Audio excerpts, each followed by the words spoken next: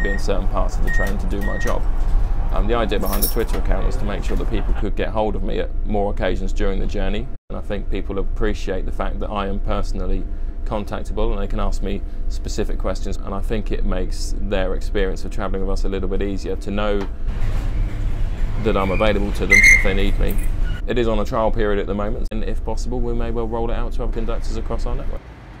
I like to do the best that I can do, whatever I am doing, and in this particular role, making sure that people are as happy as they can be is that.